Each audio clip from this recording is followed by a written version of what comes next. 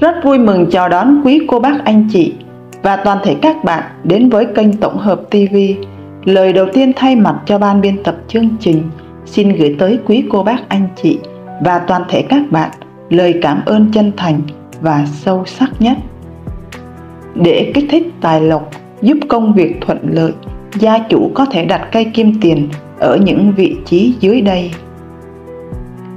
Kim tiền là loại cây phong thủy được nhiều người yêu thích.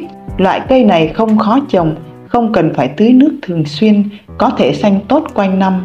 Nếu đặt cây kim tiền chuẩn phong thủy, người ta tin rằng nó có thể thúc đẩy tài lộc, giúp công việc làm ăn phát triển thuận lợi.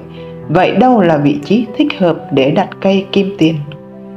Mời quý vị và các bạn cùng lắng nghe. Thứ nhất, vị trí đặt cây kim tiền trong ngôi nhà. Cây kim tiền ưa ánh sáng nên bạn cần chọn những nơi có nhiều ánh sáng để đặt chậu cây. Như vậy cây sẽ xanh tốt quanh năm, ra chồi mới liên tục. Lưu ý không nên để cây kim tiền ở dưới ánh nắng mặt trời quá gắt, vì việc này có thể khiến cây bị héo và vàng lá. Ở trong nhà, gia chủ có thể chọn một trong những vị trí dưới đây để đặt cây kim tiền. Thứ nhất, hướng Đông Nam hoặc hướng Nam. Theo quan niệm phong thủy, đây là các hướng tốt thuộc cung tài lộc.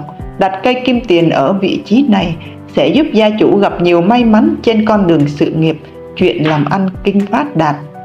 Thứ hai, trước nhà trên bậc thềm hoặc hành lang, đây là vị trí có nhiều ý nghĩa chiêu tài, vừa giúp trang trí nhà cửa. Trong góc phòng, gia chủ có thể đặt những chậu cây kim tiền có kích thước vừa hoặc lớn ở góc phòng để che đi những góc khuất góc huyết chưa được dọn dẹp của ngôi nhà, giúp nhà trở nên tốt đẹp hơn. Thứ hai, vị trí đặt cây ở văn phòng xí nghiệp. Cây kim tiền cũng là loại cây phong thủy thích hợp để trồng ở những nơi như văn phòng, phòng làm việc, xí nghiệp. Ở nơi như vậy, bạn có thể chọn đặt cây kim tiền ở những vị trí sau.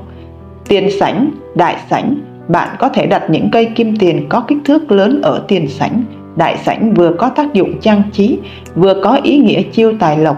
Khi đặt cây ở tiền sảnh, đại sảnh cũng nên chọn tại hướng đông nam thuộc cung tài lộc. Trên bàn làm việc, người làm văn phòng làm kinh doanh hoặc các công ty có liên quan đến tài chính có thể lựa chọn đặt chậu kim tiền nhỏ trên mặt bàn làm việc vừa giúp thanh lọc không khí, thư giãn, vừa thúc đẩy tài lộc. Thứ ba, lưu ý chọn vị trí đặt cây kim tiền. Không nên đặt cây kim tiền ở phòng ngủ vì vào ban đêm nó có thể hút khí oxy, nhả ra khí carbonic gây ảnh hưởng không tốt đến sức khỏe, dẫn tới tình trạng thiếu oxy. Ngoài ra, cần chú ý tới việc cây kim tiền có chứa độc, có khả năng gây hại cho con người. Nhà có trẻ nhỏ nên cân nhắc kỹ trước khi trồng cây này. Trên đây là phong thủy cây kim tiền. Cảm ơn quý vị, anh chị và các bạn đã xem video. Nếu thấy video hữu ích, quý vị đừng quên like, chia sẻ và nhấn nút đăng ký kênh để cập nhật những video mới nhất từ chương trình. Chúc quý vị, anh chị và các bạn ngày mới vui vẻ, hạnh phúc, bình an và gặp nhiều may mắn.